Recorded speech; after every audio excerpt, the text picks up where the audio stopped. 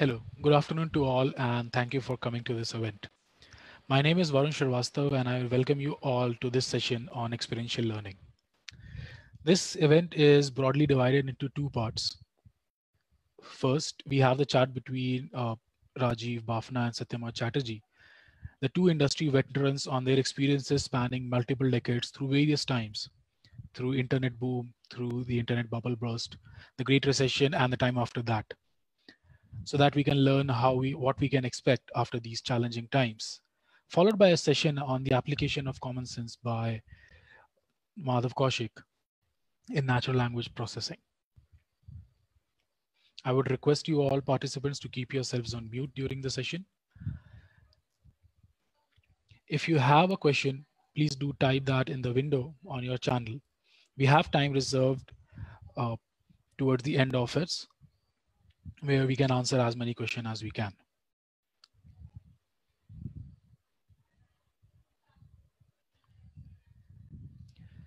So without taking much time, I'm going to introduce Satyamoy Chatterjee, the one half of this fireside chat. Satyamoy is a seasoned analytics professional with more than 18 years of global multidimensional experience in the application of analytics and data science across industry veterans. Currently, he is the Executive Vice President of Client Solutions and Product Strategy for Analyttica Datalab. In 2019, he was among the top 10 data scientists in India by Analytics India magazine. Welcome, Satyamoy. Joining him on this fireside chat is the founder and CEO of Analytica Data Lab, Rajeev Baphna. Rajeev has more than three decades of experience in the field of analytics. He has enabled not only companies, but entire industries to adopt analytics across globe. I will leave the detailed introduction of Rajeev and Satyamoy in the segment to follow, as I believe that will do more justice to Rajeev's introduction and journey in the space. Thank you, Rajeev and Satyamoy, for joining us. To avoid any interruptions in the chat, we are going to play a live recording of the session. However, Rajeev and Satyamoy are present with us and they will be available live for a Q&A, uh, Q&A session after this session. So let's get the ball rolling. Good afternoon, everybody. I am Satyamoy Chatterjee. I welcome all the participants who took the time to join from different locations today. I was told that we have uh, multiple registrations coming in from different time zones as well. So good morning, good afternoon, and good evening to you based on where you are located now. First of all, let me express my gratitude for the entire uh, team in enabling this event uh, in a short notice, especially when everybody is remote. Uh, thank you to our partner Crowd Product for facilitating the show as well. This is 100% online and being streamed through different avenues live.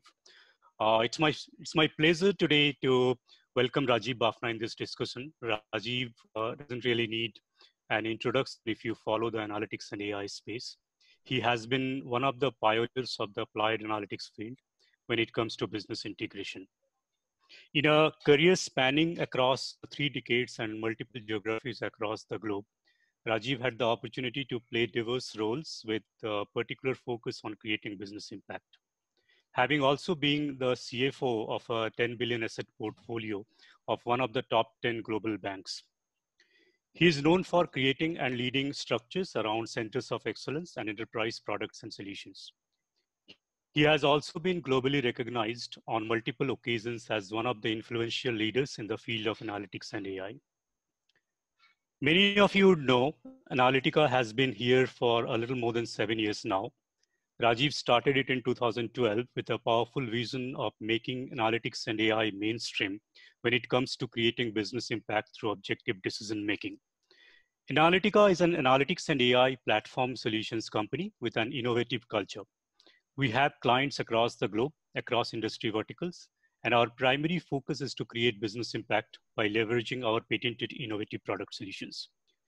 Recently, we opened up the relevant parts of our B2B offerings to take it out there for everybody to come and experience for learning, application, and owning their solution skills. So later part of this event today, we will uh, walk you through ATH Leaps, where Madhav Kaushik, VP Client Solutions Analyttica, through a workshop will give you a hands-on experience of this innovation. So the objective of uh, the next uh, 30 minutes is to hear from Rajeev to understand his perspectives, have him dwell into incidences from his career and uh, life to get a few takeaways which can uh, potentially help all of us here to reflect on and possibly help steer our careers in the right direction. So, uh, so let's get started. Uh, Rajeev, uh, welcome again. And uh, needless to say, Rajeev, we are uh, witnessing unprecedented times. Uh, many schools of thoughts have have started to firmly believe that we are at an inflection point that will mark the advent of a new normal. given the times we are in, what is in store ahead? uh, wanted to start with getting your perspective, particularly so if you can uh, uh, relate circumstances in the past that may that may come close to what we are witnessing now, and uh, throw some light and relate it to your experiences. That will be a great start to start with. Okay, thank you, Satyamoy. I think it's uh, it's a great question. Uh, glad to be here. Thank you all for enabling this and participating as well. Um, so uh, I have, I'd like to share a few things, a few perspectives, right? From uh, I started work uh, sometime uh, in mid 1990 or around around 1990 or so, and it's been a, solid 30 years of learning that I think I can share some perspectives on the current situation. Um, and, and the journey has been fraught with ups and downs in terms of market uh, Satyamoy, you asked me about the economic situation. Uh, I think I, I can sort of, I would like to put it into a very simple way of things that we control and things we can perhaps influence but not control, right?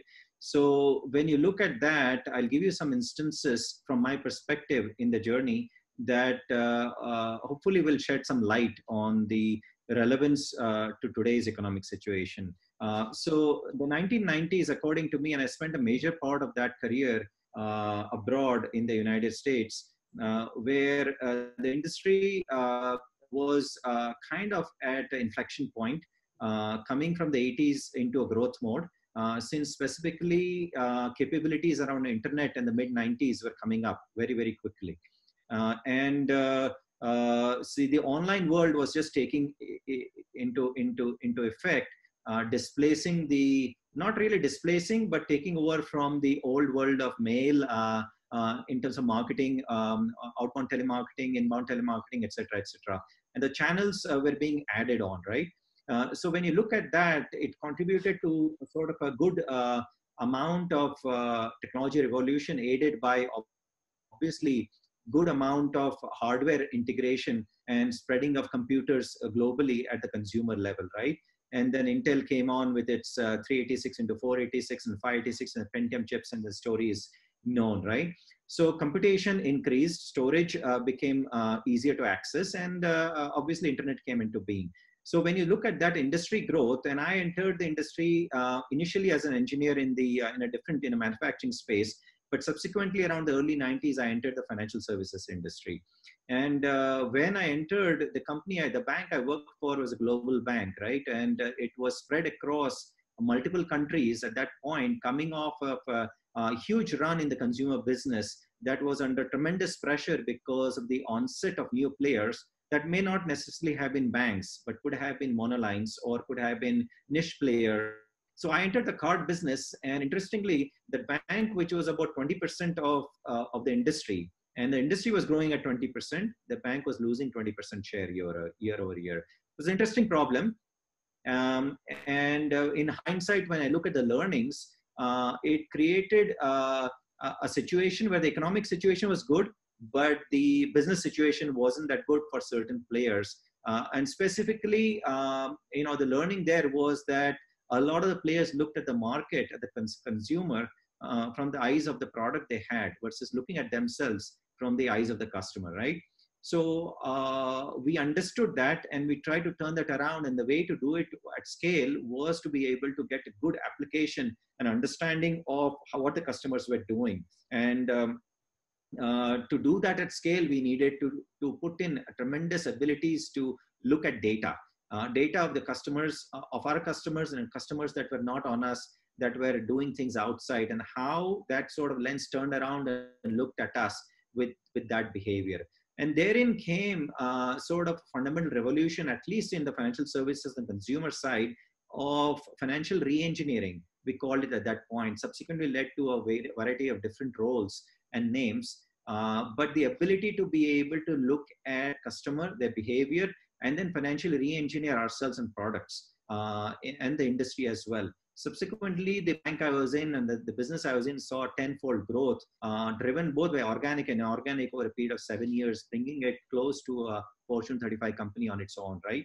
Um, now, you fast forward a little bit in the late 90s, you look at the situation in which um, um, the world evolved, right? And they, uh, actually, 1999 was interesting. Uh, many of you may not uh, know, uh, but there was something called Y2K, year 2000 year 2000 was approaching so fast, right? And most of our old system on which utilities were run, etc., were all two-digit two two-digit systems. So if uh, the date turned to zero one, uh, it could have backtracked to 1901 instead of 2000. Um, you know, advent of 2000, and it could have uh, displaced the market significantly because systems could have shut down. So that was a huge thing in 1999 world came to virtual stop the midnight of 1999, uh, December 31st, right?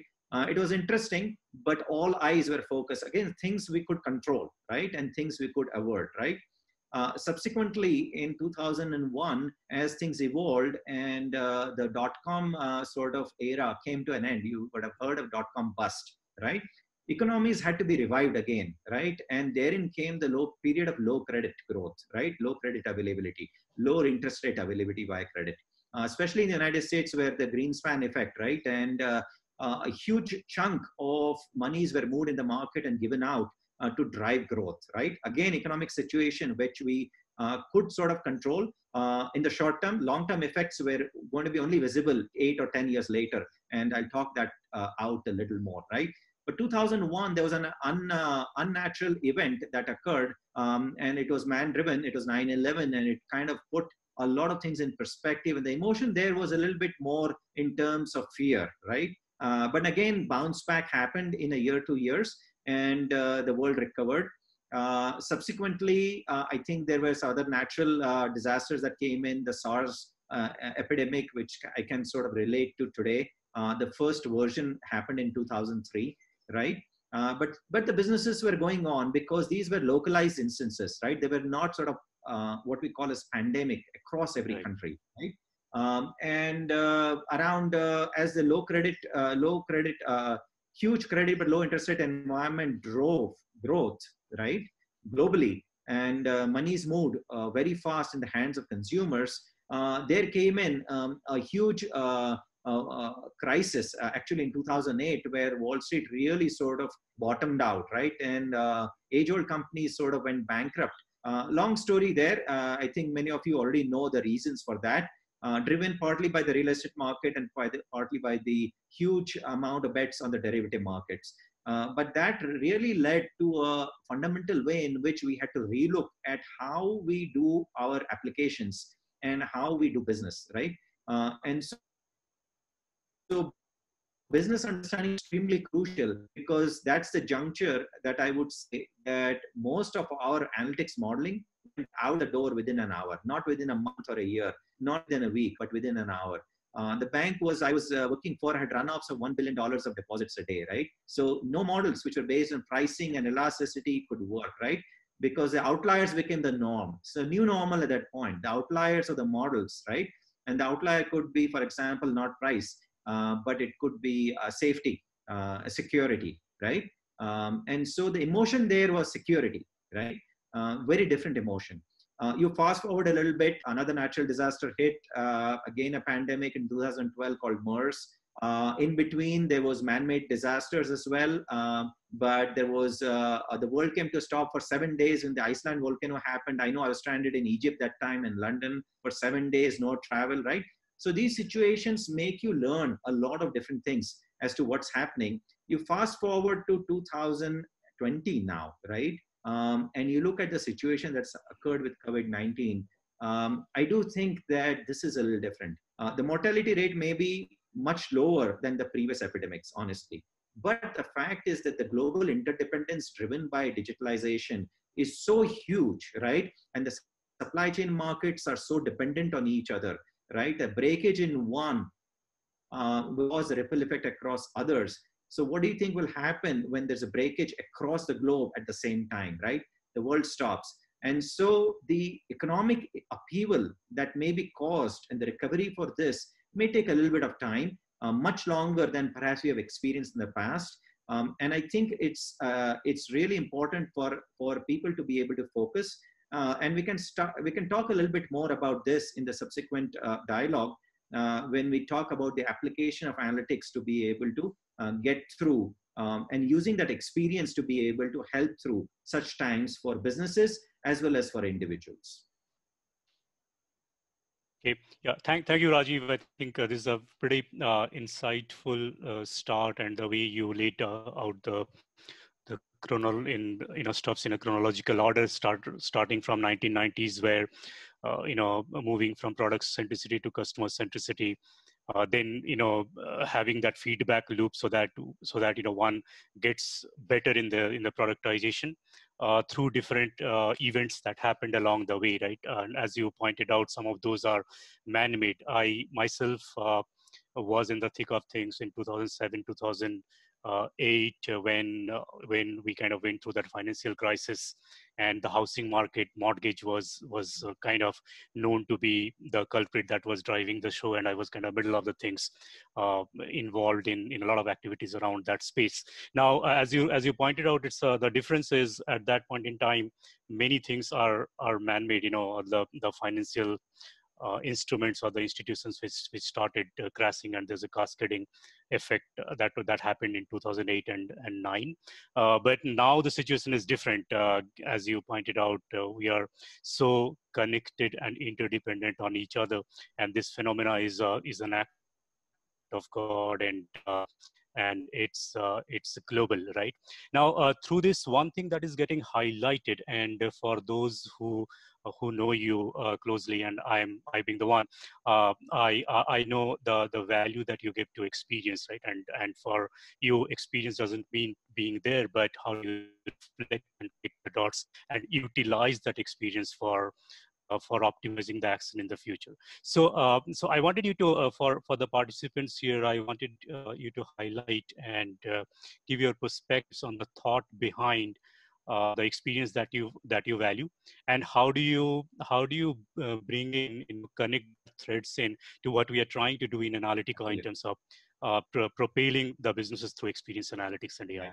That's a that's a good question, Satyamoy. Uh, I think we can we can go on for quite some time, and uh, but I'll tell you this that uh, the the uh, analytics is in the end it's not a tool, right? It's not it's not a, a process. Also, uh, analytics is, in my view, uh, an application. It's it's a culture, right? It's it's built on a thought process that enables you to move forward with uh, a calculated risk uh, and with the thought of mitigating the risk aspects, right? right? Uh, and uh, the moment you turn it into a process or a tool, you lose uh, some of those dimensions, right?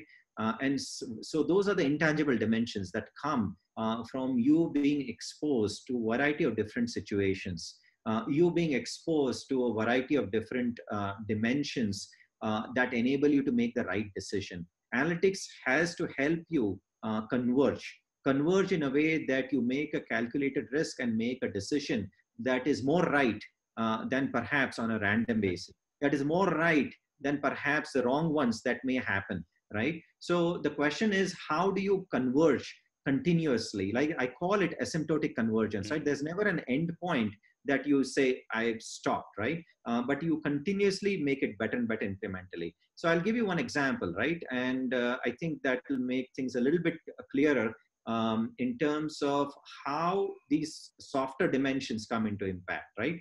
One thing I will tell you is that analytics and even Analyttica, what is trying to do today, is a very strong proponent of business integration uh, to what it's doing today.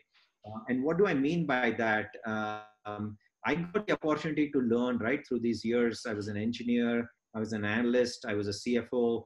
Uh, I, I worked roles in marketing risk, uh, uh, etc. Uh, and I got exposed, and it was a great learning journey. I went to management as well, um, and I got the exposure across 25 countries, right, 25 markets and portfolios there. Um, and one thing stood out that unless you understand the business, right, uh, however much your terms of your is Python or whether it's statistical tools or algorithmic tools or data sciences, machine learning, AI, right? Your ability to be able to apply that, dissect that, right? And understand the problem and then create an approach to solve analytically and then communicate that back to the business is extremely crucial, right? So I tell you, 2007 you talked about, right? 2008. Uh, you, you talked about that crisis and you said, uh, uh, you know, that a lot of us were actually present trying to figure things out at that point. Now, the science of this could actually, you could go back to the era of late 90s, early 2000s, right?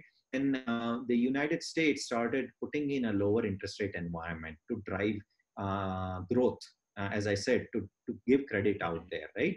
And that was driven by a situation because of the dot com bust. They wanted the economy to be able to continuously grow, right?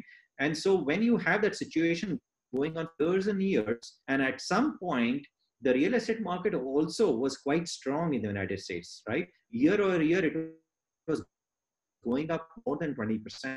Right? So you have an extremely low interest rate environment, right? In a big able fuel economy uh, growth, and you have a strong real happen, right? At some point, the historical learnings are lost, and the sort of the financial institutions are taking a leap of faith to be able to say this will go on for one or two more years, and I will start giving credit at much lower, at better uh, value propositions, right? So banks started giving credit to consumers, for example, at 100% or 120% the loan to value of their yeah. houses, right?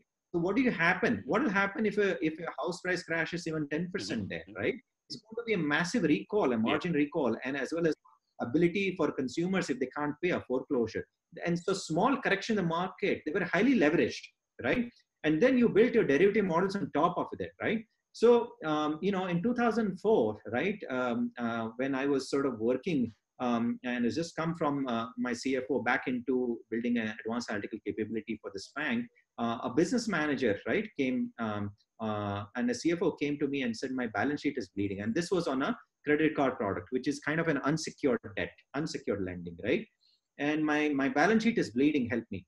Now, if you give that to a data scientist of today, uh, the answer is probably going to be, okay, help me understand what the problem is. I, I don't understand balance sheets, but if you're asking me to build a, a, a, a let's say, a, a, balance model or a response mm-hmm. model, I'll do it for you right? Uh, there is a breakage where the problem needs to be understood as to why is on unsecured debt were bleeding, and then how do you sort of uh, uh, get an analytical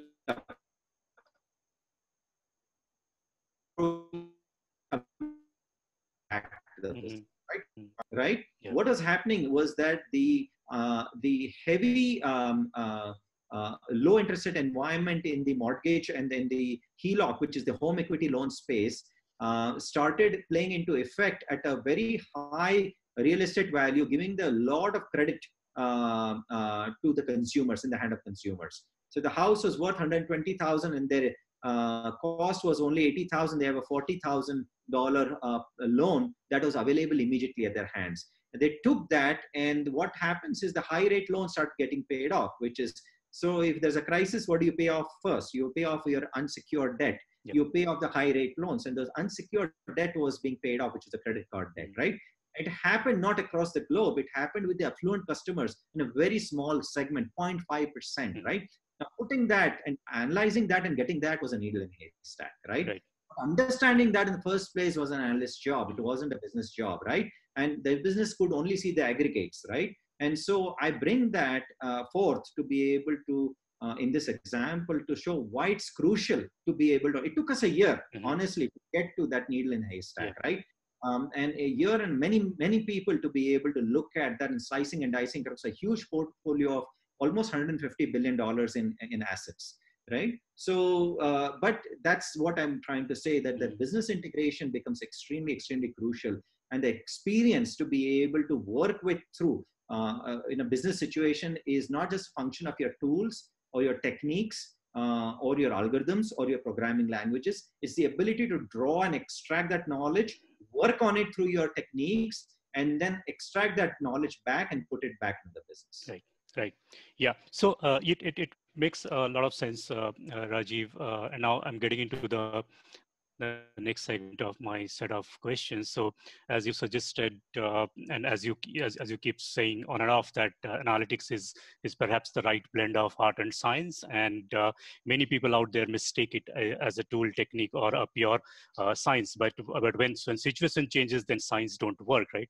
So one of my uh, my my mentors used to say that you know analytics is tougher than rocket science because rocket science follows a principle you know if you know the formula right you know where to place the rocket and and how but, uh, are actually dealing with human behavior which keeps on changing and which is irrational as science want to work. Now, uh, I think I think one of the questions that I keep getting many times, I'm sure you do uh, as well, and I'm sure many of us present here uh, who are just starting their career or probably uh, students or young young professionals. I think one thing that they will ask is, how do you get that experience, right? Unless you unless you are there, unless you actually go through the situation. Right how do you get that experience? And if you don't get the experience how do you apply yourself? So it's kind of what comes first. So how do you how do you address that uh, rajeev uh, when you say that application of experience is very very important uh, but in order to apply you need to get that experience. So how do you how do we solve that is yeah, what is the thought process? chicken and egg but i think there is uh, there is a way to be able to look at it and you replicate life's journey in a way that you can understand it very quickly uh, with the tools and technologies we have today, right? So you look at, uh, I look at my journey, right? And I look at um, the, the, the times which I had to go and learn and relearn things. Uh, and unlearn as well, right? Uh, I had to unlearn many things. It's a tough thing to do, uh, but I had to be exposed and adapt to new normals and new situations. Um, and uh, that came through obviously period of time, but that came through uh, the willingness to learn, but as well as the ability to apply myself to those learnings uh, into the business at those points in time. Now, that is an expanded out multi year journey, right? Um, but the, the fact is that if you break that down and you say that, you know, many people, so today, many people say that I learn from being told what to do, right? Uh, many people today say that I learn from being trained. So give me a classroom session, give me a homework, give me an assessment, instruct me uh, whether remotely or in closed walls, um, and then I will go and apply. The problem with that education system is very simple that unless you do that stuff yourself, you will forget that, right? And probably as you exit that door, right, uh, of, of training, you will probably forget 50% at that point itself, at that doorway. And then another 50% probably end up applying only 5 to 10% of that, right? So the, the, the problem with that is that while it exposes you to certain things, uh, it doesn't make you experience that journey, right? right? And so, uh, what we have been doing, um, and in my journey as well, I've, I've, thought this through a number of times that I learned best. In fact, there is research which says 90% of your learning comes from doing, mm-hmm. right? And I said, why can't we replicate this multi year journey and bring it to your fingertips in a few months? right? And uh, make it domain specific whether you're in financial services, whether you're in retail, healthcare, etc., etc., right? But contextualize it with an ability to keep the analytics learning back into the play to, to make business impact. And uh, we sort of have been experimenting with this. You have been part of the journey as well over the last seven years to bring that experience to life uh, uh, by doing a, a, lot of innovation in this space and bringing it through simulations and other ways uh, virtually at your fingertips, right? And so to be able to bring forth an engine to you that can be molded in your domain to your specific requirements, right? Um, and that we can talk about ATH leaps and which you're going to hear subsequently. Uh, that's fundamental, that thought process into this whole learning, applying, going back to learning, applying, and then actually solving, right? Uh, without guidance, but going back to learning so that whole cycle becomes mm-hmm. seamless, right? Of learn, apply, and solve. Right, right. So yeah, yeah. I mean, uh, I think I think uh, it it definitely uh, highlights right that there is a there's a gap out there in terms of how uh, the education system or how the learning as such on the whole is being perceived. So, uh, so that that brings uh, perhaps you know the the, the next uh, question as to as to when we uh, when when you, you conceived uh, Analyttica Treasure Hunt as a platform, right? Where where uh, and you you're a firm believer in in a, in a lifelong uh, learning kind of abilities and learning application and solutioning. So how do you how do you see blending of all this together coming in place? And what is the essence behind uh, the platform, the IP that we have, and what is the idea behind opening it up uh, outside now? Uh, so that you know we can kind of propel that kind of a thought process of learning application and solutioning. So uh, I would say, Satyamoy, that there are a few things uh, that are more important for this generation the coming few years that uh, will uh, that drive that thought process and that has driven me as well and uh, all of our team members to, to, to put forth this platform called treasure hunt right? Um, see learning uh, applying and solving is no doubt a framework that we have created. Uh, but the basic intangibles that drive that framework is uh, learning not just the hard skills right um, uh, but it's very important to understand that you learn how to learn itself right. uh, versus learning an end point mm-hmm. with an end point in mind right when you learn with an end point in mind which is the hard skills uh, like you learn python or you learn r or you learn uh, a tool or a technique you learn uh, machine learning or you learn uh, how to build um, you know certain products right these are endpoints in itself uh, and as technology evolves, newer tools, newer languages become develop, uh, they start developing, you kind of run into a roadblock. Then you have to relearn, right? But if you learn how to learn quickly, mm-hmm. right? Uh, then you are continuously updating yourself because you're learning here. Your reflexes are being honed on, right? And that process was the one that I wanted to be able to instill a little bit into the creation of Treasure Hunt.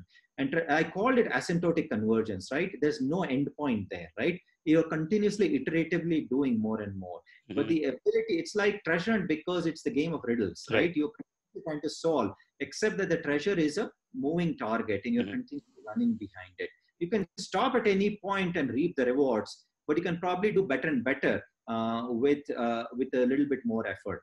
So to enable that, uh, we had to figure out a way in which we compress, and this is what you get through experience mm-hmm. and exposure over years, to compress that into a very small, sort of compressed uh, time frame and a virtual ability uh, to be able to bring in front of you. And that's what right. treasure, that's why Treasure Hunt was born, right? Mm-hmm. And the ability in, a, in our uh, boundary, which is the ability to apply analytics to solve business problems, right? Mm-hmm. Contextually then came the thought that absolutely if i were to be able to expose that person then i also want them to be able to understand that the thought behind it is not just that i am dealing with a structured set of problems right, right. the ability to deal with the unstructured the ability to yep. deal with a little bit gray area so not, not always black and white that's mm-hmm. what you happens in business right yep.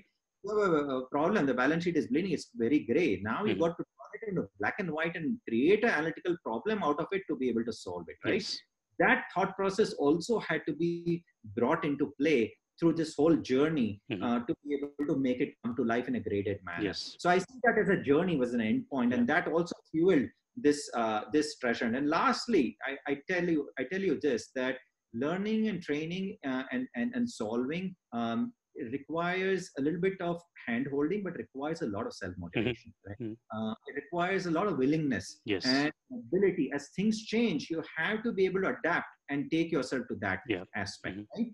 Um, and so, no tool, no technique, no process will get you there because, as you said, um, it's not a rocket science mm-hmm. that I have a formula I can do that. Yeah. Uh, a lot of it rests here and your motivation is extremely important which will which will be the winning factor in terms of these things. So we are enablers. The end mm. point is yes. Yeah. Yeah.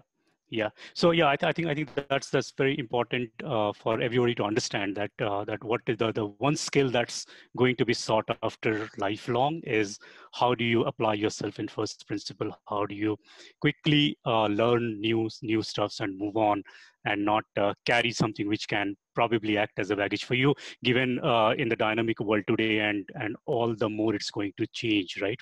So uh, mm, so i think one of the essence of the of our our ip and that's where we have our design patent on uh, in the innovation in the education space is how do you actually enable somebody to learn better, faster, and apply themselves quickly. And that is where perhaps the, we are we are solving or or kind of uh, scratching the surface and solving the problem of of ability to not being there as uh, may not be be uh, no longer a gap in terms of absence of experience right? So if we if we solve for that then we are actually offering somebody to continue to be in a continuous learning path and apply themselves to be future ready right? So that comes to the last question and i think we can go and on on and on. Uh, rajeev you touched uh, quite a few things right?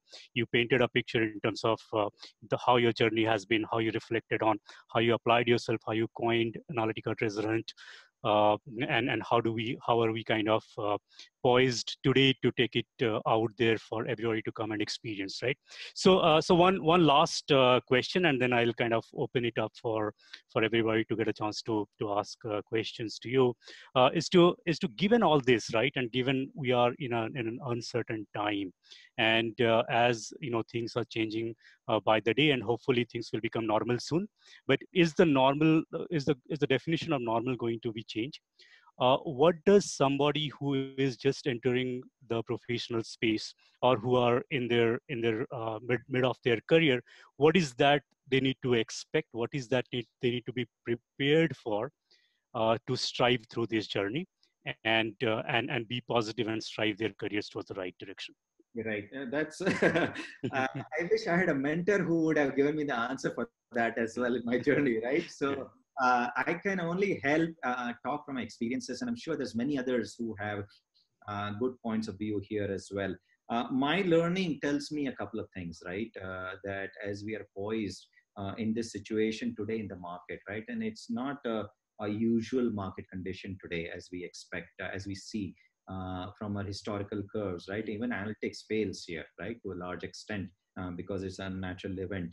Uh, but and also because the line of sight is only a function of as far as fast as human beings can sort of bounce back uh, with certain sort of uh, uh cures that they may sort of have for such an event, right? Uh, and that is still an uncertain uncertain event.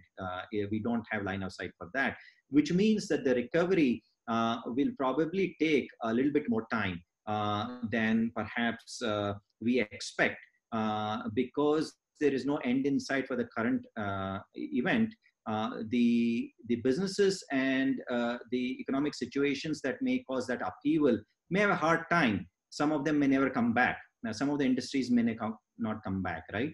Um, and so that will almost define a new normal uh, in that sense. Uh, as to what that is. Now, when you when you think closer to our space of analytics and applied analytics and uh, uh, uh, artificial intelligence as well, and now this has been going on the last five, seven years at a tremendous pace, right? right. Uh, 10 years ago, you wouldn't have thought of Tesla coming out with a self-driving car um, or, uh, you know, uh, a massive, uh, you look at the markets right now, uh, you have the traditional uh, sort of auto companies really struggling to keep up, whereas a company like Tesla is doing extremely well. Um, now the question is, where is it headed, right? Um, and, and how do you think this is going to occur for, uh, let's say, our space, uh, which is data science and applied analytics. my view is, is very simple. I stick back to the three things I mentioned earlier, right? That technology will continue to outpace the ability for us to be able to uh, do the same thing that we used to do in, in, in a manner that will be very, very different, right? Um, and so uh, this is a, a, challenge for many human beings, but uh, I see it as an opportunity because the opportunity is the fact that you can do things that you couldn't do before. The thought process the critical thought process. Uh, let technology take you take over all the automation stuff right? Don't worry about all that right? So what's important for you is to be able to unlearn certain things mm-hmm. and not bias yourself. Right. and, and to be able to ensure that you're prepared to learn new things continuously right? Um, and the ability to learn is more important than the learning itself right um, and secondly, I will say that uh, the volatility in the economy is high, right? And uh, you know, it's not like you can go through economic curves of the traditional 10-year curves or seven-year curves. Now, every two, three years, as technology revolution propels it, you have to be prepared to be able to deal with things that you have not experienced before, right? And so, exposing yourself to those situations more and more where it's it's uncomfortable, right? Exposing yourself to discomfort is extremely important, right? right? But take risks. Take calculated risk. Leverage the power of your capabilities to take those calculated risks mm-hmm. right? Uh, you will fail but over time the 80-20 rule holds and you will make the right decisions very very speedily right? Lastly i would say that um, you know this is an exciting world that we are coming into. It is an extremely positive way to be able to look at opportunities.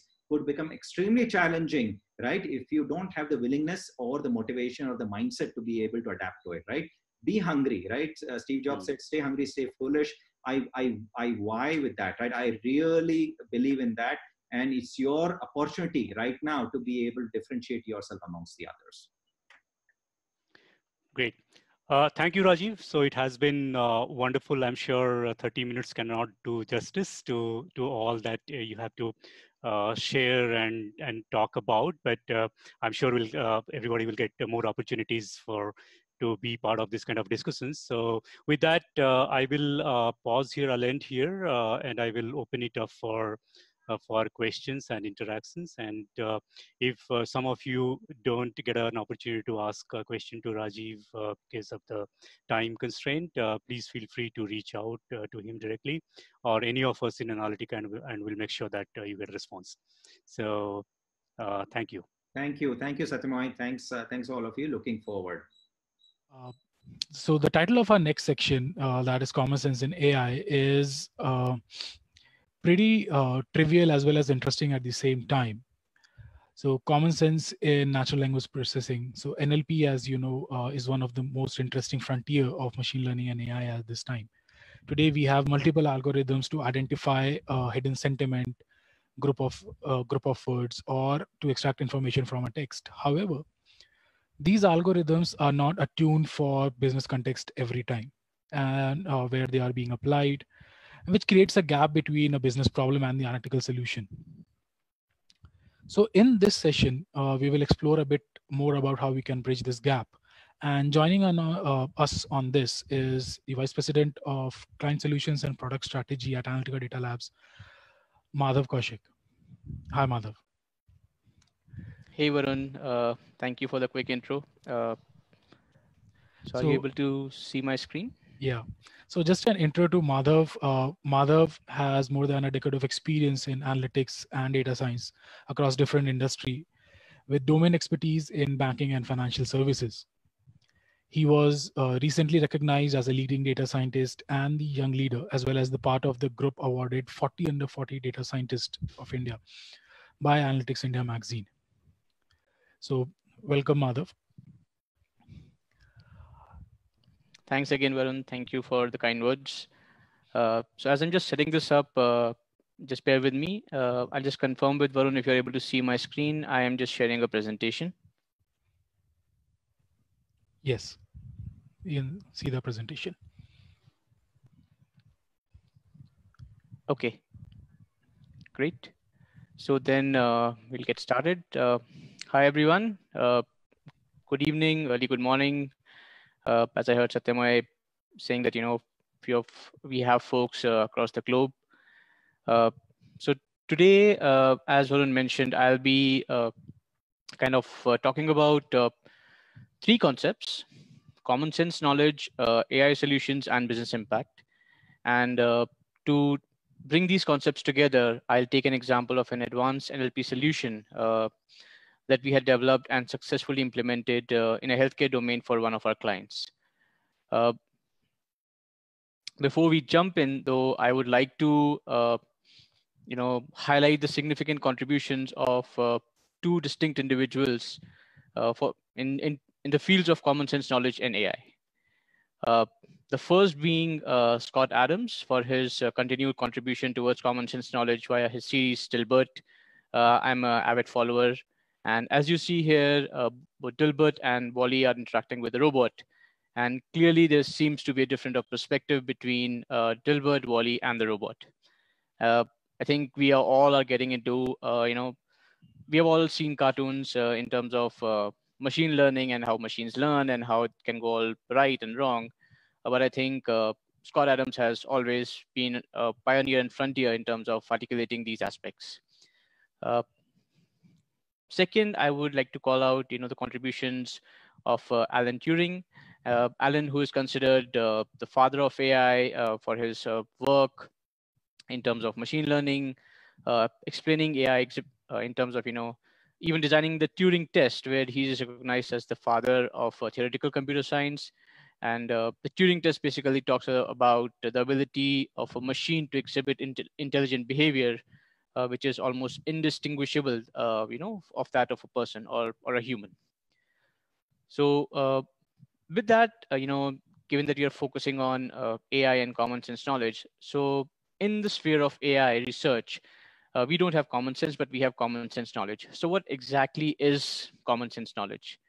Uh, so common sense knowledge, uh, you know, in the sphere of AI research also means, uh, you know, things that uh, one would, one should know in terms of, you know, which are common in terms of uh, consists of the facts of everyday world, like lemons are sour, that are that all humans would know. you know, lemons are sour, deposit your money in a bank, so taking that example of uh, depositing depositing your money in a bank, uh, when we start talking about you know a bank deposit, so these two words, uh, what is it that uh, comes to your mind? So, for example, the first thought that comes to mind is a financial institution where you know the process is that you are going to deposit your money or your uh, precious gems, jewelry, uh, with the idea that you know you can take it out whenever you want. So now if I bring on the second picture uh, on the screen, so you will see that uh, a bank deposit in this picture, uh, the meaning of it completely changes. Uh, here, the bank deposit means the deposits of sand, rich in minerals on the bank of a river. And even the process of a bank deposit changes where here we are actually not depositing, but the process associated with these words would be where you are actually taking out these deposits from the sand and you might actually sell those out for money. And uh, similarly, if I were to uh, take this example of the third picture, which is uh, bags of blood, uh, here now the focus is, uh, again, on the two words bank deposit, uh, where my process and the meaning and context of these two words changes completely. the process here is that you're actually giving away your blood to a bank for a deposit uh, with the expectation uh, that you know it will go to your loved one or for a social cause, uh, and most likely you'll never be receiving that the same thing back again, your own blood, I mean. So from the point of this example being that the same set of words can have a completely different set of process, uh, you know, meanings, uh, processes associated with them, perspectives, and even experiences. And uh, even though they are the same two words, the context behind each of those can be very, very different. Hence, uh, you know, today when we start talking about application of AI solution in a business domain, so this contextualization of common sense knowledge, uh, which is basically knowledge of the business domain, uh, becomes extremely important. It's very, very significant. Uh, so the said, in other words, contextualization of the information to make business sense is what it means to have incorporation of this common sense knowledge in these AI solutions. And as you can see from these above examples, uh, if these two words were to be taken out in a different context in these different three different business scenarios, be it a mining of a riverbank, a healthcare industry, or a financial institution, uh, they can give very, very different examples and they can come up with very, very different insights, uh, which can only make sense if they are being applied in the right business domain and with the right contextualization. With that, uh, what I would like to do is uh, take you through uh, one of the examples that I have mentioned, how we can bring together this overall concept of contextualization uh, in AI through one of the NLP solutions that we had built. So uh, here, what we will do is uh, we have been working as one of our clients, we've been working with a, US-based healthcare provider who are responsible where the, where the problem that they're trying to solve is that they want to uh, identify priority stubs uh, out of all the stubs that are raised. And these priority stubs need to be reported to a regulatory body within seven days of the stub raise date. Now, uh, to achieve this objective, the business wanted to leverage the power of AI uh, and you know to build like an NLP solution so that they are able to mitigate the risk and optimize their business actions. Given the domain, the risk to the business here is manifold. Uh, you know, the primary risk here being patient safety. So a stub is categorized as a priority stub if it can lead to a patient safety issue. And uh, a stub can also be, uh, you know, in terms of uh, how to visualize a stub is basically a ticket, for example, being raised as part, part of a process. So when you're trying to identify a ticket which can actually lead to a patient safety issue that can have a critical impact, not just on the business in itself, which is the healthcare provider here, but also on the patient. And uh, it can have multifold, uh, you know, issues in terms of not just that uh, you, the healthcare provider can lose trust uh, very quickly. Uh, if there is uh, issues with the patient safety, you know, I'm sure that none of the patients or around the community uh, would be willing to go to that healthcare provider. So these are two examples that we have listed out in terms of you know what would be as a, uh, what can be associated with as a priority stub versus a non-priority stub. So for example, uh, a little bit of description in terms of what is the data that we'll be able to collect from a priority stub is so we had the heading which is being filled out uh, by the uh, people working at the healthcare provider it can be nurses or any other admin people, uh, employees. So which will be kind of filling out the subject, which is predominantly in free flow handwriting, uh, along with the some description of the stuff. So for example, on the left, uh, what I see is, uh, you know, urgent, having trouble sending out medication list to the pharmacy. Uh, all medications sent are being are pending status. Now here the issue is that whatever pharmacy lists that are being generated that that are needed uh, there is some breakage in the process. They are being held out somewhere. Pharmacy is not getting the list, so they are not able to release those uh, items. Uh, now, if somebody is in a critical care, uh, you know, can be very relevant to the current scenario we all are in. Uh, if you need some of these uh, emergency equipment and there is a breakage just because of a process, now this can lead to a big, big issue from patient safety perspective. You'll not get the right pharmacy or the medicine or the equipment and you know uh, the patient who is let's say is being treated uh, in a critical care uh, that that few seconds uh, can actually be a make or break. So definitely this is a priority issue. Uh, so the stub being raised here needs to be dealt immediately. And even before being dealt you know it needs to be categorized that it's a priority so that it can be dealt pretty quickly. Uh, on the right, what we see is again an example of a stub that is being raised. So we have the subject line and then we have the description. Now here the description and subject uh, again looks pretty urgent. Uh, we are talking about you know data coming out from a healthcare domain, so everything is urgent. But again, between all those urgencies, you know, how do we define what is priority? So here you see that you know the somebody has kind of logged in that they have been logged out of the system, a need a password reset urgently. Uh, these uh, issues usually arise from different nursing stations, which are used for uh, future scheduling. Now here, uh, that context kind of, you know, provides the ability for us to say, okay, although it looks very urgent, somebody might be needing it right now, but at the same time, we know from the contextualization of this uh, of this data coming from the backend, where this stubs can be raised or these issues tend to occur, we know this uh, does not really lead to a patient safety issue and hence is a non not priority stub. So uh, having classified the two, uh, we'll kind of move forward as to what we did in terms of building out a solution, uh, an advanced NLP solution to say, what are these, uh, how can we predict which ones of these stubs are priority stubs, then which can be you know, quickly taken up for resolution and also being shared with the regulatory body. So as part of building out an NLP solution, uh, we uh, followed the process, which is kind of uh, laid out.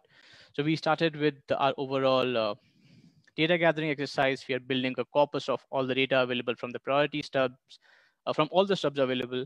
And here, the first piece was to make sure that we are actually analyzing the right data. So we only wanted to take data into consideration, which is coming from the subject line, which is coming from the description, and to remove any data set or any data that's available in these stubs, you know, which can be again in the text format, but is not relevant to our analysis or the objective.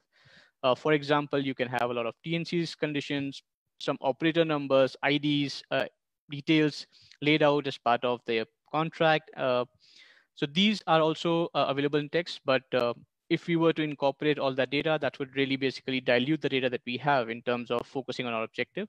So we had to make sure that we are building a corpus of the right data, which was based on the, as I said, the subject and the details provided. Once we had that, uh, we did a basic level of analysis on the gathered corpus, like frequency of count of total number of words, identifying special characters, stop words, etc. And from there, the next step, we started with some basic pre-processing, uh, like case correction, uh, making everything to a lowercase, uh, stop word removal, stemming, and tokenization.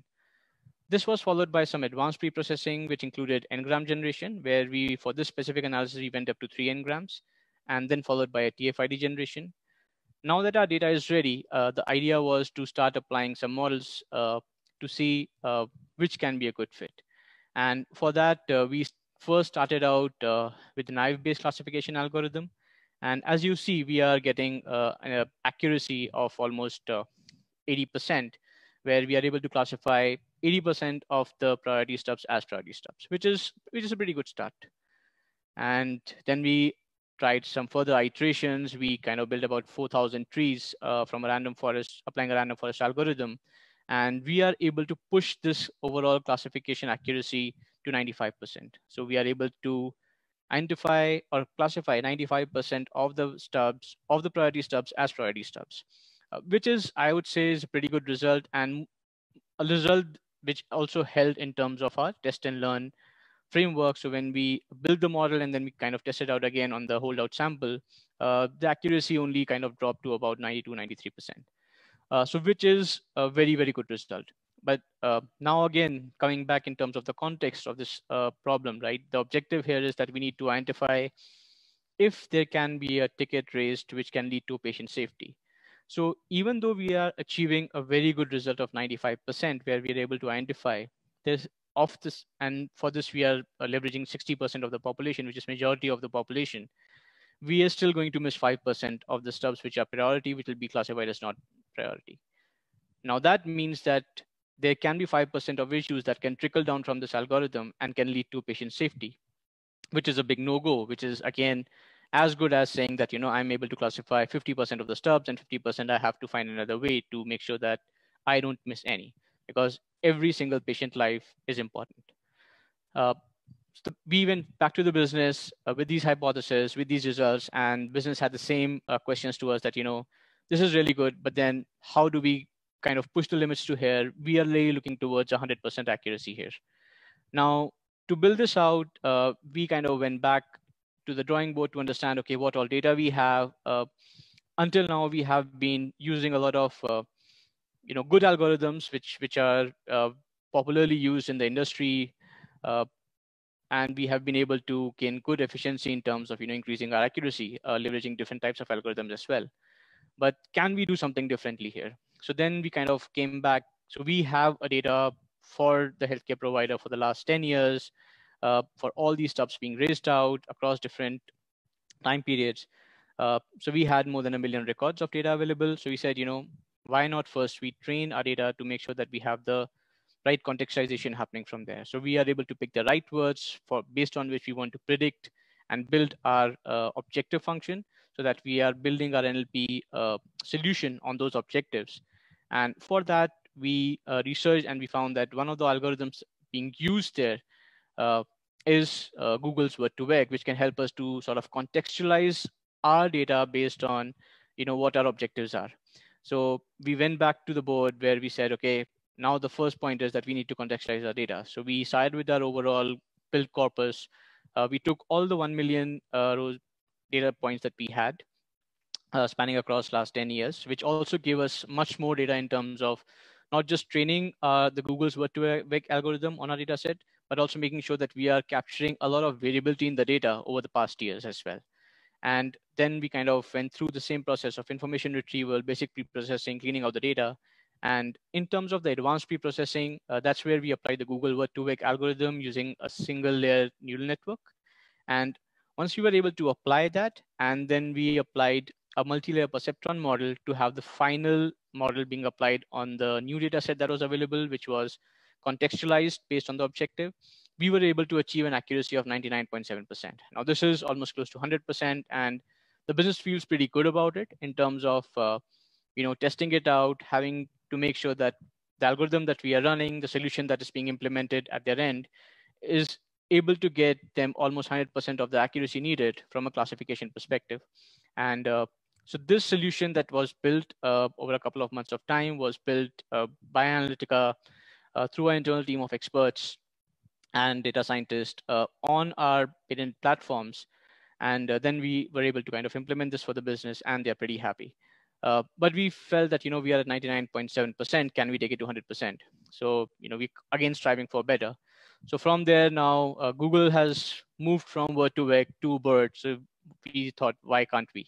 So we are in the process of uh, building that out and, you know, building prototypes where we can go beyond 99.7% and have a much more robust and strong algorithms, uh, which can then be leveraged to uh, you know build uh, very specific and sophisticated solutions, uh, which are very very relevant in today's space as well.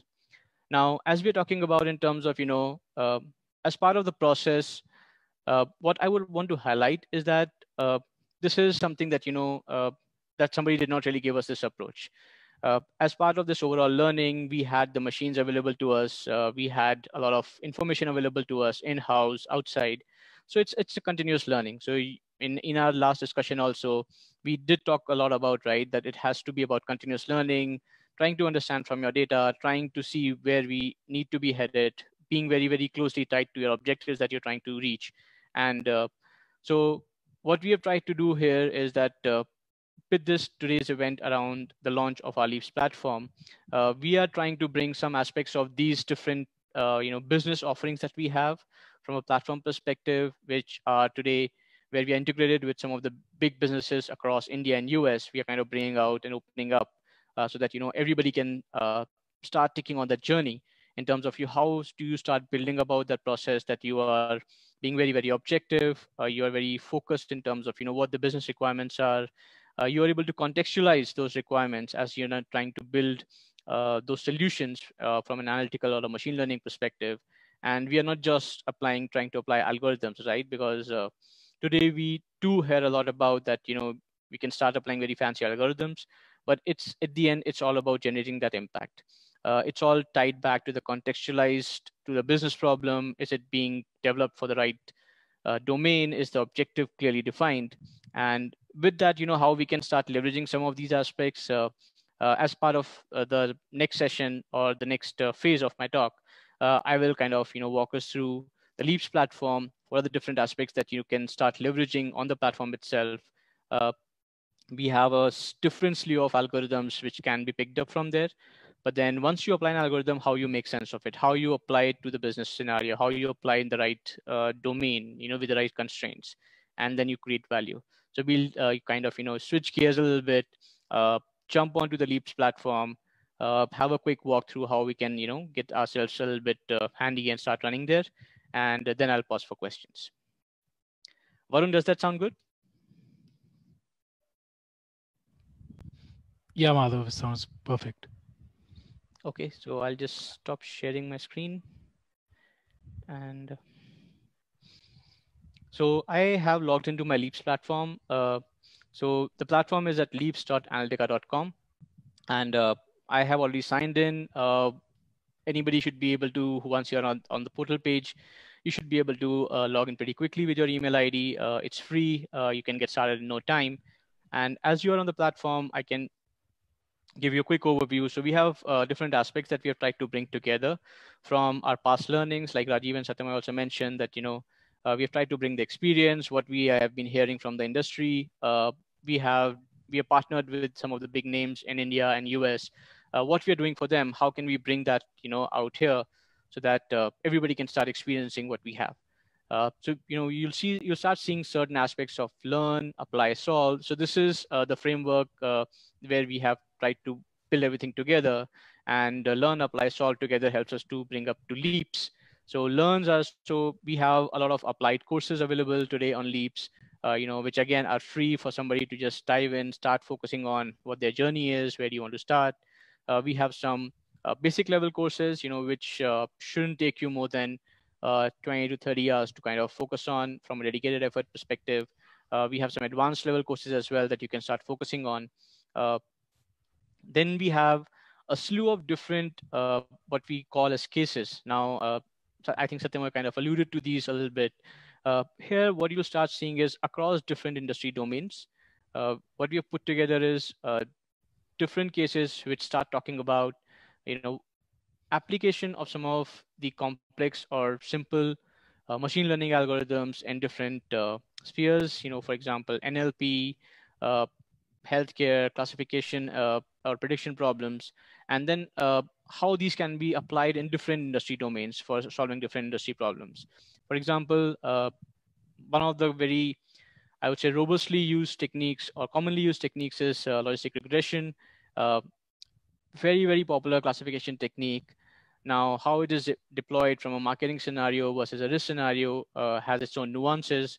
So a lot of these cases will help you to go through how different techniques, you know, can be applied uh, to these different scenarios. Uh, we have examples of some of the most upcoming cases and from an IoT perspective. How how can you uh, get familiar with data coming out from different IoT devices and start interpreting and analyzing that to recognize human activity. So you, we have seen examples, right? That you have trackers, you have watches, our smartphones. Uh, they are capturing a lot of the activity that we are doing. We are walking. You can see the steps that you walked in a day on your smartphone without really switching it on that device. Uh, so you know how how are they kind of capturing it when when they try uh, get the data out? Uh, how is that data? How does that data look? So you can start uh, dwelling into these, focusing into these uh, uh, from uh, that perspective, I think uh, I'm not sharing my screen.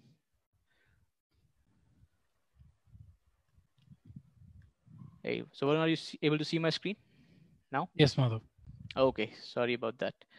So again, uh, as I was saying, so you know, uh, there's a slew of uh, different. Madhav, just uh, yes. Sorry, just a pause. So for our participants there, I hope that you have registered on the Leaps platform. So what Madhav uh, is showing you is basically you can uh, go through once you have registered. So on the Leaps platform, you can, uh, when scrolling down, you can have that option. So Madhav is logged in, but on the top right corner, you can find uh, your section to uh, log in. And from there, after signing up, you can uh, go through all the cases and the other courses that Madhav you know, will be explaining. Thank you, Varun. Sorry about that.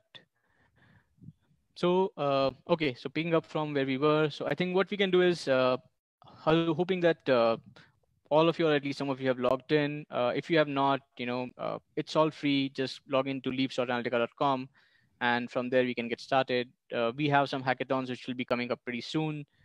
we already have a series of webinars that are already in place, so that will be that will be rolling out from today onwards. And I'll, for I would say to get the maximum out of them, it would be best to have uh, yourself logged in the Leaps platform. We'll be taking you uh, through you know different hands-on cases uh, as to how it can be applied, uh, not just from a Leaps perspective, in, but in terms of you know getting the right exposure to the data. How do you start thinking about the problem? What is the framework that you want to focus on? Uh, so it will be a very comprehensive uh, sessions that are coming up, which are scheduled on a weekly basis. Uh, we have a few blogs that you can go through. Uh, there are podcasts with some of the industry leaders. You'll be able to hear a lot more from Rajeev and Satyamoy here as well.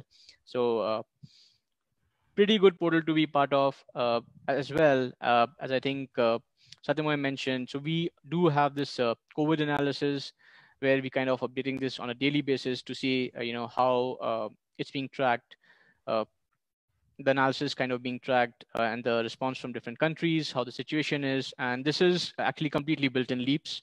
So you can actually try your hands out. Uh, you have these data sets available uh, out there in the open source. So you should be able to kind of, you know, uh, get to the data available. Uh, and let's say if you have this data available and you want to kind of start building something on yourself, uh, I can quickly walk you through the process in terms of how to do that.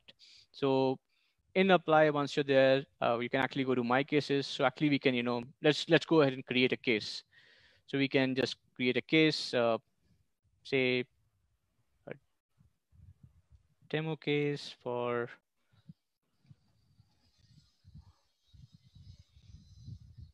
and you can select a category just in the interest of time. So I will be kind of uh, brought into uh, the case and uh, feel free to upload any data sets that you might have. Uh, it allows for that. Uh, otherwise, there's a slew of data sets available to you across different domains, you know, that you can uh, just quickly pick up. I'll just take, you know, a quick category and say, okay, let me just take some customer complaints data. We've been talking about some NLP solutions.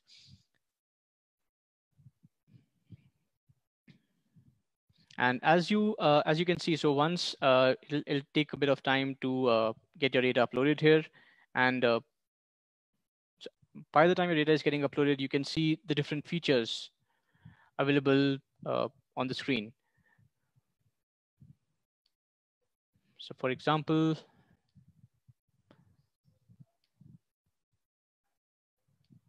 let me see.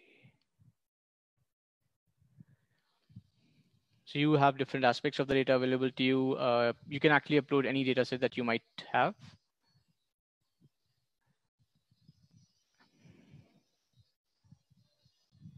And uh, once you have available, uh, the data is available to you, you can actually start uh, working through the same.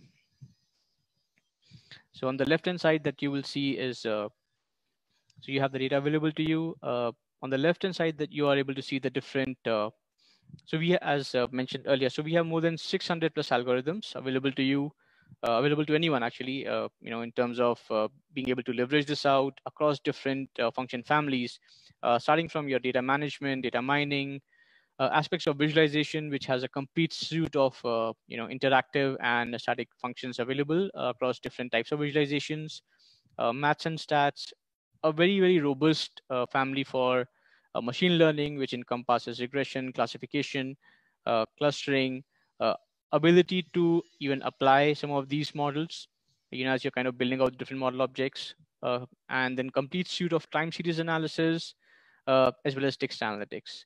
So, you know, as you're kind of uh, going through some of these uh, NLP problems as to how they can be built. So you can actually start leveraging a lot of these uh, available algorithms to start building up your case. Uh, I can take you a quick example as to how to do that. Uh, very, very simplistic format. Uh, whatever data that you have, you can just click here or you know you will be able to kind of click it out available from the table section. Uh, I have selected the column that I want to run on. Uh, let me start by building a corpus. Uh, for every algorithm that you're trying to run, you will have a description available. So you can actually go through this, understand what are your input requirements, you know, how the output will be, and how to take inference from those. Uh, in this case, I'm just trying to build a big corpus, so I'll not give any separators. Uh, I can execute and in a click of a button, we'll be able to uh, execute our functions and so we have our results available. As in the, even in the result section, uh, you can see that you know you have different aspects of uh, trying to have a deep understanding of what the codes are, uh, how the, those can be leveraged, uh, you can plug in your notes. You can actually pin any of these results that you have.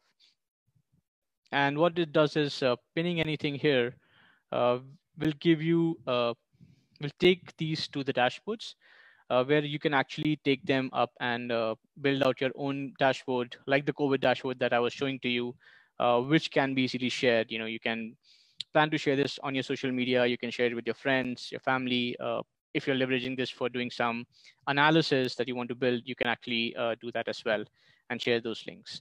Uh, so again, uh, from a execution perspective, uh, it's very, very simple. I would uh, definitely encourage everyone to uh, go through it, start, bring some of your data sets, start building some analysis, you know, take reference from the different courses available on the Leaps platform, uh, you have a lot of information and guidance available from different uh, cases as well across domains.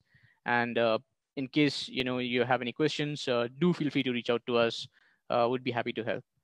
So, so with that, I'll take a pause and see if there are any questions from anyone. Sure.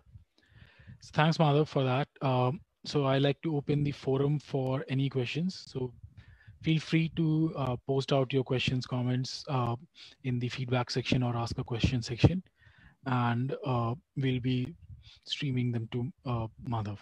So in the meantime, Madhav, uh, we got some questions, uh, both on Leaps as well as on your presentation before on uh, NLP. So I think I'll start from there. Uh, so in the, your presentation, you mentioned that uh, you were able to attain almost 100% of accuracy while using word2vec algorithm. So do you think that while using this algorithm, it will ascertain that we should be always be getting close to 100% algorithm, 100% accuracy?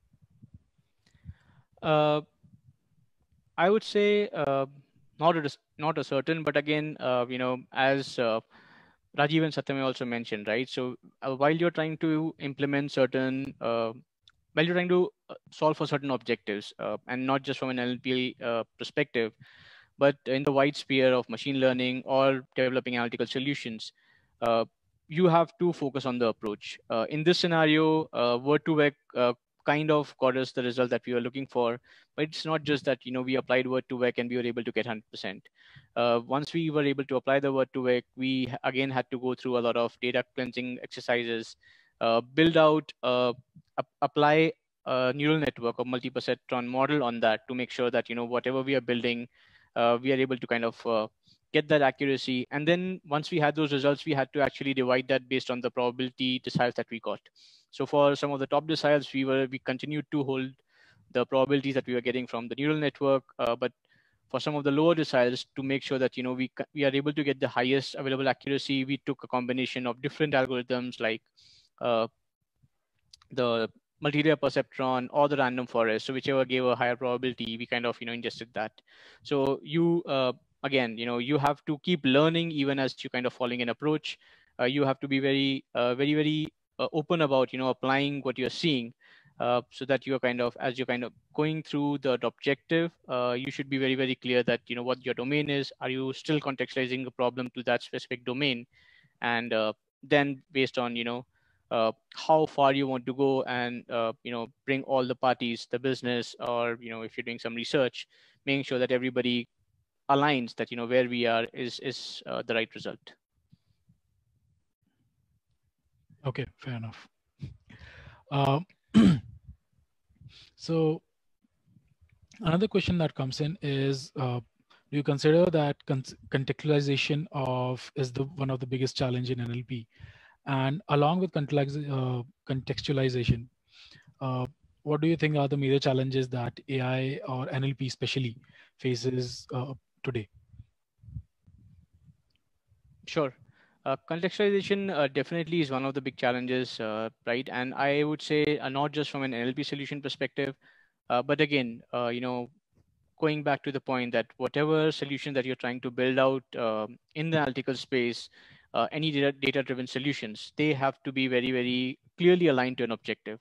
Uh, today, we are in a scenario where we have lots and lots of data available. Uh, you know, we are generating data, uh, like terabytes of data every second.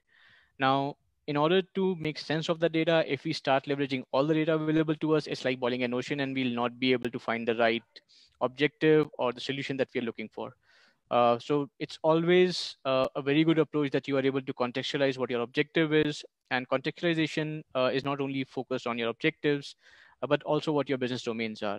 Again, taking the example in terms of, you know, the, the two words of a bank deposit can have may varied meanings based on the business problem and the business domain you're trying to solve for. Uh, speaks for itself that, you know, especially in an LP scenario, you are trying to get you're trying to create mathematical solutions based on the text that you have. So you better align that text based on you know what your business is. Otherwise you don't want to be applying uh, extraction of a deposit from a blood bank that could have you know very varied results and might not be good in a scenario as well. Yeah. Thanks madhav. Uh, so we have another question coming in. Uh, it says that when starting out on leaps uh, do I have to have any prerequisite in terms of coding knowledge or do I have to uh, have any prior statistical knowledge? Can a person like who is completely like a blank slate and no experience, uh, how can he learn or uh, leverage the Leaps platform? Sure, I think uh, a very valid question. I think data science uh, has been, I would say, among the top jobs uh, for the last few years. Uh, a lot of people, uh, you know, uh, have been wanting to kind of switch careers or at least start their careers in data science. So when you're kind of starting out with leaps, uh, there, there, are no uh, specific, uh, I would say, prerequisites that you need to have, be it from a programming perspective or having, you know, prior knowledge, prior technical knowledge, be it from an engineering background or a statistical background. all these backgrounds definitely would help. Uh, you know, to get you a, a, closer understanding. But even if you are starting out uh, without any of these aspects, uh, with do with some basic understanding of uh, mathematics, uh, I think we have courses today that you know can help you bring up to speed. Uh, because a lot of these courses are not just uh, theoretical courses that will help you to gain theoretical knowledge, but they are applied courses, and they have been divided into different categories. I would say in terms of you know some very basic, which will actually cover a lot of building blocks in terms of you know what your some of the basic statistical concepts are, uh, not just from a theoretical perspective, but you how you take those concepts and you start building an analytical solution.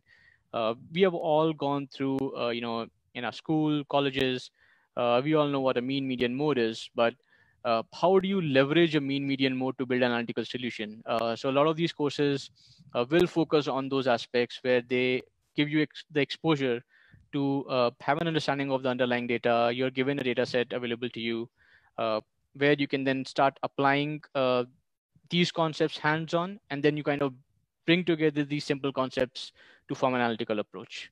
So in a nutshell, uh, there are no prerequisites. Uh, it's very, very applied. So the more you spend time on it, uh, you know, practice makes all of us perfect. So you'll get close to perfect.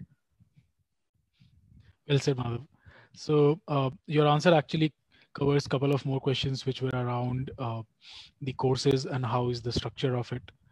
Uh, can you uh, tell on the uh, topic of courses? Can you tell like how uh, how does Leaps or Analyttica chooses the courses and uh, you know how do they integrate that into our platform? Like what's the design or thought behind integrating a course? Sure. So today, for example, let me just quickly so the way I see, I think there are two parts to that question. One is in terms of you know what all courses or content is available, and second, uh, what is the structure of a course itself. Yeah. So I can give you a quick walkthrough in terms of uh, what the structure is, uh, and then we'll come to the thought process. Uh, so as part of the structure, as you see, uh, you know there are uh, once you enroll into a course, you will have an overview which talks a little bit about you know the what can you expect from the course. There is a timeline uh, which can give you a quicker sense in the, the, different modules that you will cover as part of the course. Uh, once you successfully are able to complete the course, uh, you are awarded a certificate from Analyttica. Uh, again, these are not very, uh, these are not the only theoretical courses. These are very, very applied courses where the focus is actually uh, as you enter into a course, it's divided into different modules, uh, you know, which you can think of it uh, as different chapters of a book. And as you start, so for example, you have an overview, uh, you'd be given some learning resources, a module structure, a suggested learning flow in terms of, you know, how should I go about it? And uh, as part of it, you will have some initial guidance available to you in terms of reading materials, uh, audiovisuals aid available that you can consume at your own time. These you can actually, uh, you know, all of it can be accessed through your mobile devices as well. Uh, but the focus of the course, uh, you know, the applied course lies in these data cases that we have, where uh, as part of the data case, you will be laid out a learning goal, you will have a business scenario laid out for you. Uh, you will, uh, and as you proceed, these different business scenarios are then uh, broken down into different milestones, where I can actually start focusing on solving these based on what my uh, milestone objectives are. And uh, so I can focus on my milestone objectives, solve for that, uh, submit my results. One submit, I am I can actually access something which is very unique to the platform itself, where I can actually go and see uh, how my as a user I did versus if an expert was solving the problem. Uh, you know how they did solve the problem. Now, as I'm kind of solving this out, uh, as a user, I'm not really getting penalized in terms of you know if I'm doing something extra, but we are also trying to uh, push you in terms of the right direction that you know uh, there is there is sort of a champion challenger concept here where if there is a solution that's available, there's an approach, and if you're able to uh, modify and better that approach, actually that approach becomes, uh, you know, the expert approach. So as you're going through these uh, courses, these data cases become the heart of the course, where you have to uh, take on a very applied approach. Then there are quizzes which help you to focus on, you know, uh, once you have gone through the course, what my answers are. Now you can have right and wrong answers, and uh, this will kind of help you to again, you know, hone in on refining the aspects where you see uh, you could have done better. So this is a structure of a course, and you know, again, uh, we completely believe in the aspect that this has to be uh, applied. Uh, you know, nobody can be a data science practitioner if they are just going through, uh, you know, some theoretical concepts. You have to start applying yourself what you're learning bring those concepts together to form an analytical approach. And so that's that's what we're trying to bring together as well uh, as part of these courses. Uh, now coming to the second part of the question, uh, you know how these courses are chosen. So today we have uh, brought in a certain set of courses, uh, some of them being basic, like basics of data analytics, uh, fundamentals of time series analysis, so you can get started around these concepts. Uh, then there are some, uh, you know, approaches like logistic regression, machine learning, linear regression, objectives, uh, concepts of segmentation, right? So these are some of the very, very, uh, I would say, commonly used techniques uh, across the analytical uh, continuum. So uh, having a sense of, you know, having applied knowledge of these will definitely give you an edge. And there is a very strong connect in terms of what the courses available out there and the apply section, right? So we have a plethora of content of different cases now, these cases are sort of tying back to some aspect of the course. So for example, we saw a different classification, a course on different classification techniques.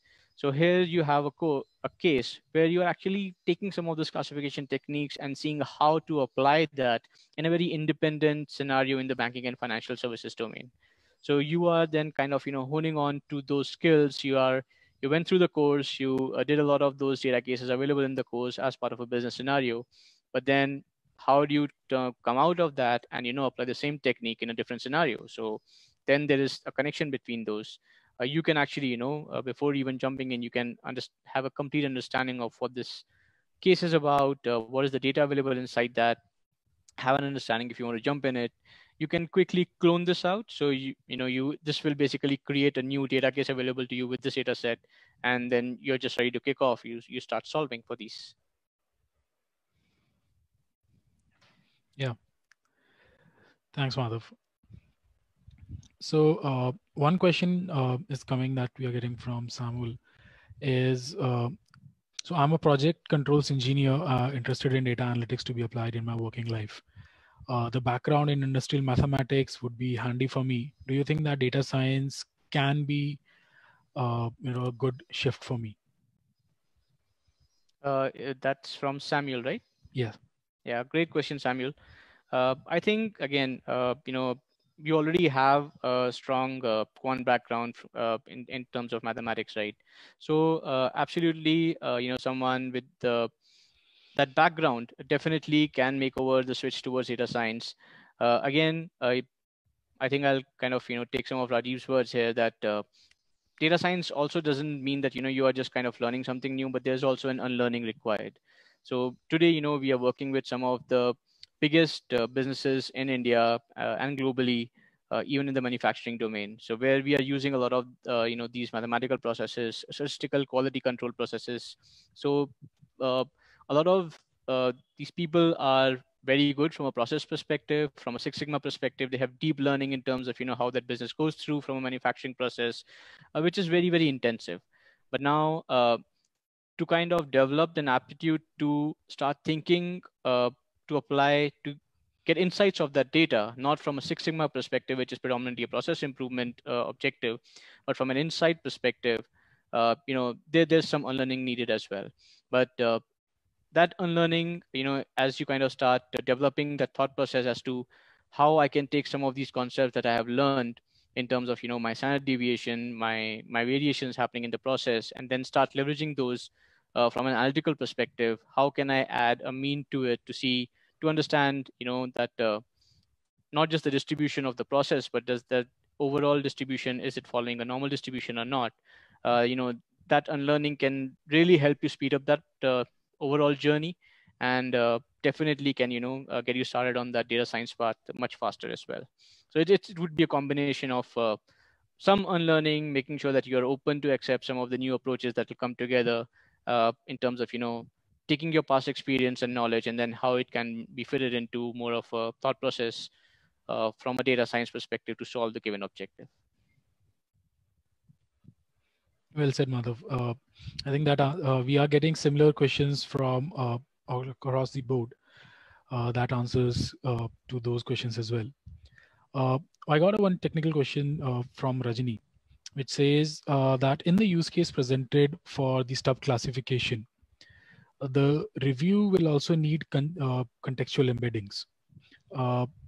however, but I, uh, she doesn't think that Word2Vec may not be able to capture that uh, for the review process. Uh, what are your thoughts on that? Yes, so uh, well said, Rajni. I think definitely every solution and objective, you know, has uh, its advantages and some challenges. Now, uh, in our objective, we were able to, you know, get a lot of good results and the accuracy that were looking for, leveraging the Word2Vec algorithm. Uh, in a review process where we we might have missed those embeddings so, you know we would have tried to uh, again tweak that approach. And again as i mentioned right that uh, a lot of the success that we achieved were for among the top two to three deciles. But for the rest of it uh, you know we took an approach where we were taking a combination of results coming from the neural network as well as uh, different results coming from other classification algorithms. And then we took the approach of you know applying the highest available probability uh, for the classification so that you know our goal is in terms of if we can get the right classification versus what is the algorithm we are using. So from that perspective in that case we were able to attain what we were looking for. And uh, as a prototype to sort of uh, you know get that uh, a solution uh, to a next level you know that's where we're trying to focus on the BERT algorithm as well uh, which should solve for some of those review and embedding aspects also but a challenge on the BERT perspective is that you know it requires very high computational power, so uh, it's not always the go-to algorithm. At least when you're kind of starting out with a business perspective, which always has some constraint, be it from a cost or time perspective. Yeah. Okay. Uh, so with this, Madhav, uh, I like to bring uh, this Q&A session to the end. And uh, like to thank you and I would also like to thank you all the participants who have been there with us. Uh, so all our uh, panelists, Rajeev, Satyamoy, Madhav, uh, are available on LinkedIn. If you have any questions, further questions, you can reach out to uh, them on LinkedIn, or you can reach out to Analyttica's FB page or our Twitter handle, and we will be more than happy to connect with you. So with that, uh, I'd like to say thank you for all of us joining today uh, from different parts of the world and uh, from different time zones. So it's good evening here. Uh, I think it's good night somewhere else and good morning or good afternoon. So thank you all for joining us. Uh, the recording of this uh, video uh, will be available on, or this event will be available on our YouTube channel. We'll be posting it uh, later on our Facebook channels and excerpt from this on the event channel and our Twitter handles. So feel free uh, to go through it, follow us uh, on social media. And uh, as Madhav mentioned that starting next week, we'll be having, we are kicking off our webinars and that's our hands-on sessions on different data cases that are available on uh, ATH Leaps platform. There, uh, we will be solving a business question uh, with analytical backend. So how do you use analytics or data science to solve an actual business problem? And we have, you know, starting next week, these sessions, hands-on session will start. So watch out for our emails, our invites in your uh, inbox, and we'll be sending them out.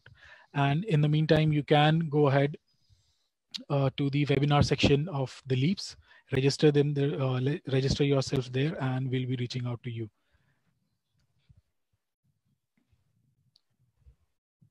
Okay, so uh, with that, uh, I'd like to thank you everyone and wrap this session up. Uh, thank you, Rajeev. Thank you, Satyamoy and Madhav for taking out time uh, and walking us through some of the very interesting topics uh, ranging from uh, business to uh, AI. Great. Thank you, Varun. Thank you, everyone. Thank you, everyone.